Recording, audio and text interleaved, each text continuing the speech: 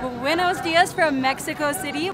We're Madison and Ivan, and today's Mad Venture is exploring La Merced, the largest market in Mexico City, and I think the largest market that I've ever seen in my life. So we are very excited. We're planning to get some delicious food. We're planning to buy some great produce, probably purchase some fruits and vegetables that we've never seen before.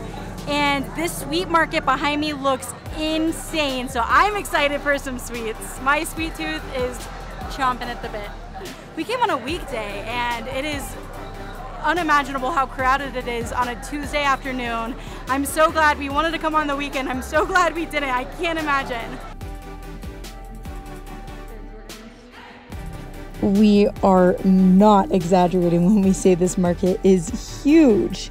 It has taken us over a half an hour wandering through the maze of shoes, produce, meat vendors, and more shoes to finally find the section with some food stalls. And we are starving.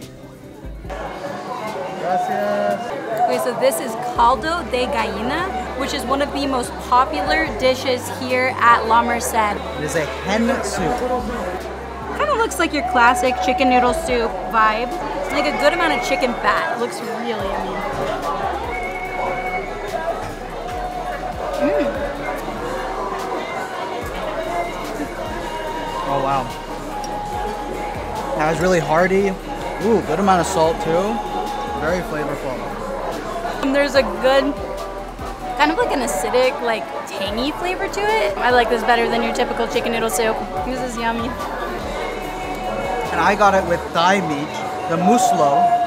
Let's try some of that. Mmm, that is so tender. That's just, like you can just push it and it falls off the bone. Wow. And that's just a soup regular. We got all these mix-ins to play with. That's what's next.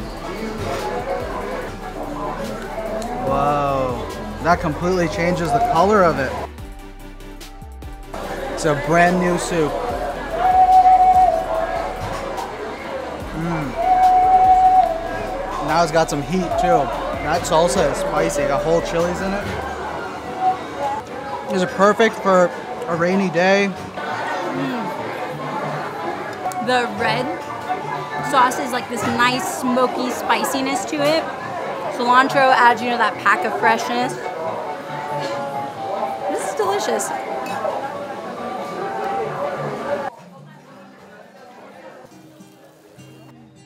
The quantity of these fresh fruits and vegetables is completely insane.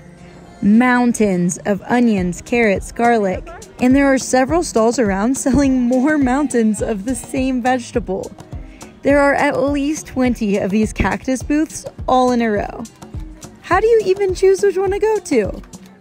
Most of these stalls only sell in bulk, but luckily we found a spot that doesn't with something we feel we need to try.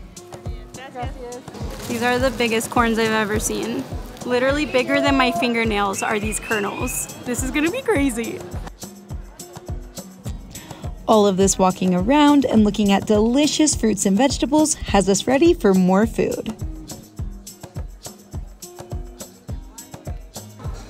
This is a pambozo. It is a torta sandwich. Um, the bread, I think, has tomato on it and then it has some sausage, some potatoes, lettuce, cheese. Mm. The flavor of the sausage and the potatoes, they're just so well seasoned. It's just delicious.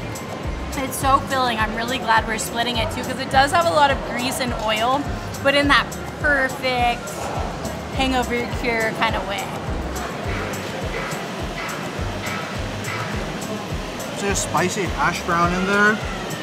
This gives me, in the best way, Waffle House vibes. The hash browns all the way. It's just like everything in there. This will fill you up. And get you real greasy. Perfect to have a nice sweet drink with because of how kind of salty and savory it is.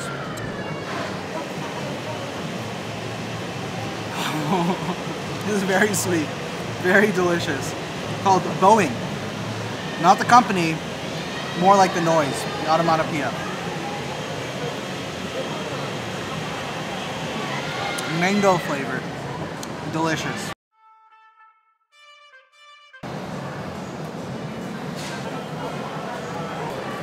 I just made that like a gourmet meal.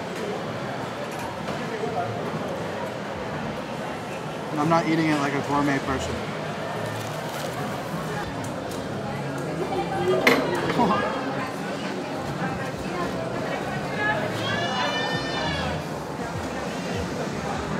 Wow. The green salsa just ta- takes this kind of greasy meal and it gives it this fresh quality, this like super freshness. It almost feels like it's healthy now, but like in a good, like delicious, spicy, flavorful way. It makes you feel a lot better about all of the oils, greasiness, and fattiness that we're consuming.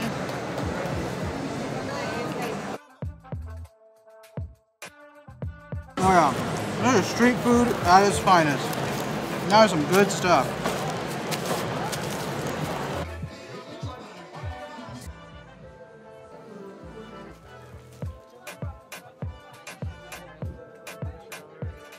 This is the biggest candy store I have ever seen in my life.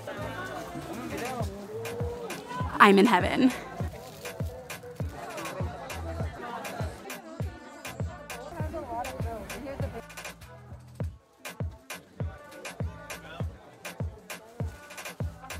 What do you want?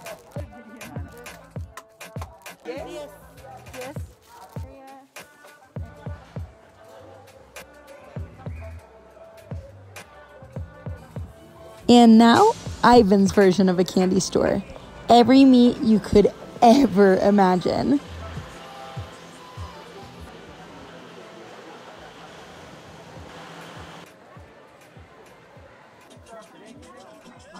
Viva Mexico! Ivan and I collect ornaments when we travel, and this is one of my favorite ones we have ever found. Look at him with his little Dos Equis, his Mexican flag, Viva Mexico. It's perfect because we are here during the Independence Day celebration, so his patriotic spirit is very much alive here.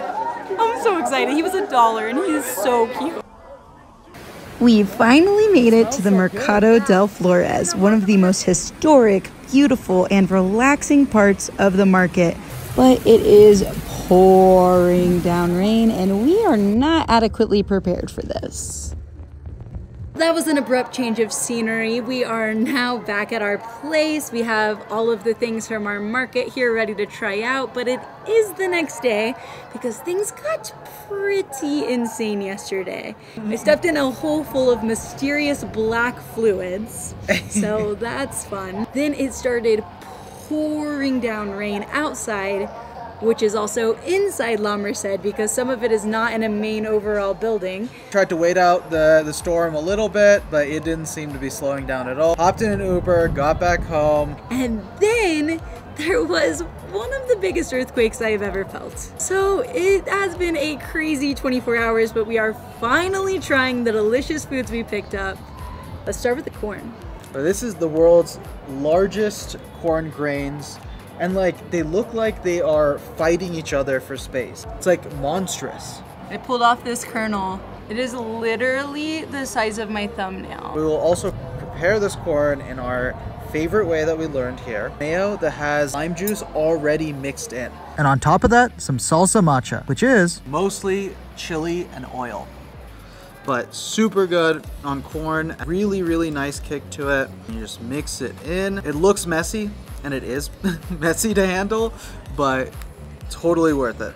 Plus the mess just means you can lick your hands afterwards and get more of this awesome salsa.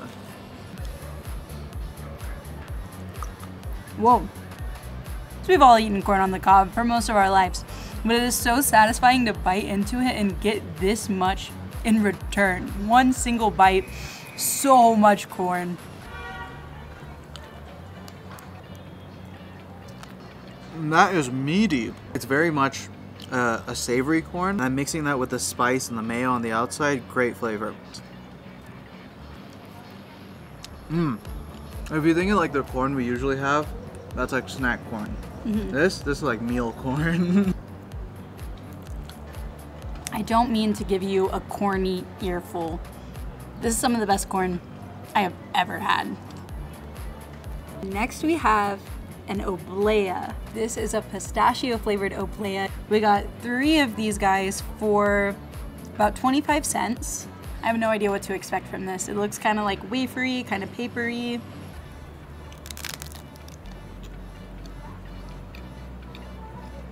Hmm. So usually I read that these do have a filling in them, but for 25 cents, I can't complain that this one does not. This one is pistachio flavored. And so I think they must have used some sort of pistachio extract in making the wafer itself. Kind of has, to me, a little bit of fortune cookie vibes. It was nice, slightly sweet. Very pretty and fun. They had so many of these at the market in all different colors and sizes and flavors. This is good. I'm gonna try a filled one next time though. The first thing you notice is that really satisfying crisp. I don't know if anyone else sometimes just bites into something and is like, wow, that is a great mouthfeel. I'd say this is like 90% mouthfeel, like, and 10% this very, very light, subtle pistachio flavor. From a sweetness perspective, very, very mild.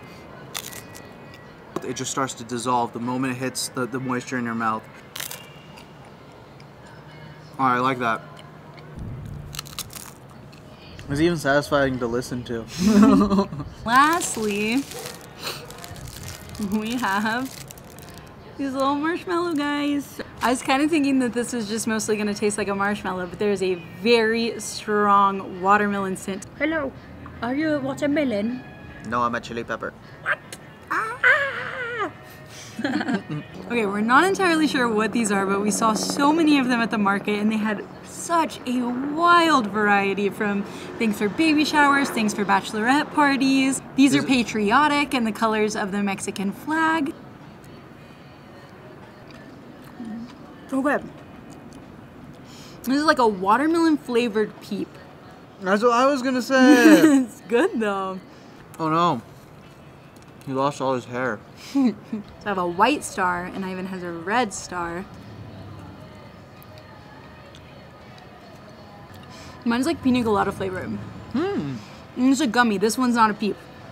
I think mine is a cherry.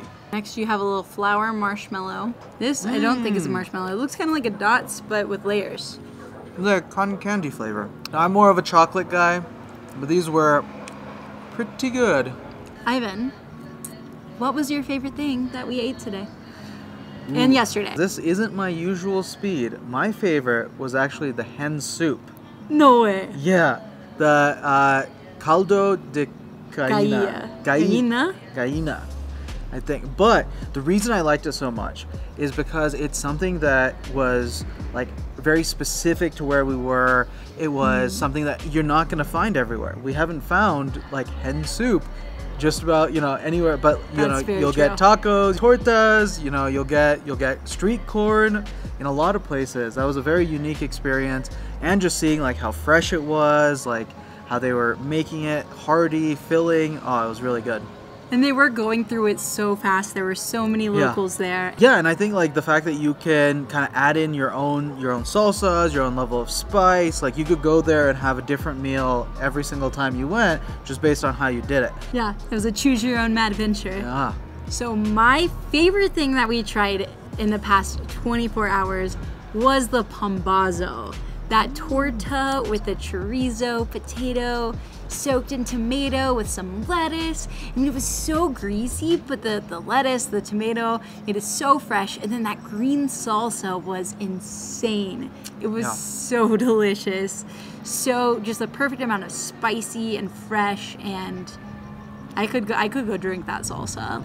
and that also reminds me with the pambazo we got the the boing Oh yeah. juice and i think that just made it right the greasiness and uh, that paired with that like sweet kick that just like cleansed your palate and like had you ready for another bite that was a good good drink We hope you had a good drink of adventure with us today. It's always special to explore a place through food. Such a reminder that across the globe we are so similar but also individually unique. Eating something as basic as a chicken soup and it tasting so different and special is a beautiful representation of this. Thank you for joining us for this mad venture. We will have many more here in Mexico City and we hope you come along. It helps us a lot if you could please click that like and subscribe button. Always follow the maddest adventures on your heart, and we'll see you on the next one.